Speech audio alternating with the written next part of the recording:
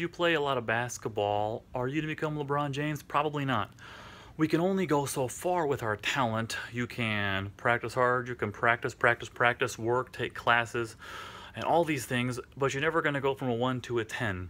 You might go from a 1 to a 2 or a 1 to a 3 with a lot of hard work and practice, but you're only going to go so far on your talent.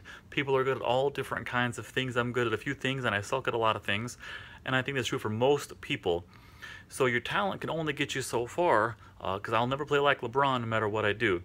What you can do is realize there's no real limit to how hard you can work, uh, because you can output lots and lots and lots of work if you put in the time, because that's all it is. Time, time, time, and working instead of slacking, instead of leisure, instead of other parts of your life. You might not want that, you might want that, whatever the case is, that's totally up to you.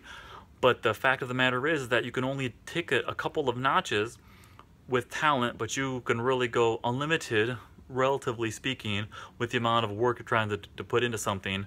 And you can almost will something to existence if you're willing to put in the countless days, months, years to make something happen. Now, it might not be the best use of your time, but it might be the only way to make something happen that you really want to happen. So never forget, talent can be notched up a little bit, but uh, the output you can create from hard work is virtually limitless.